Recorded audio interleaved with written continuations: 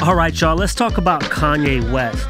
Now, before his debut 2003 album, College Dropout, Kanye was producing hits like Talib Kweli's Get By and Scarface's Guess Who's Back.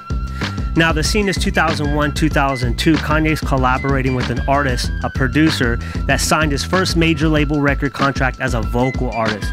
The working title of that album, Pay Jay. And the artist in question, J Dilla.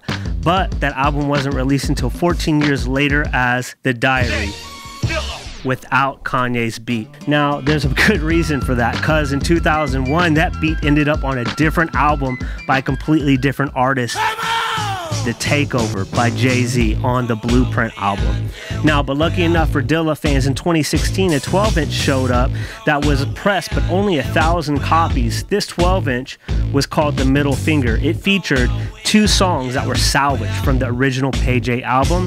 The first song, The Anthem, produced by Kanye West Hot. Oh.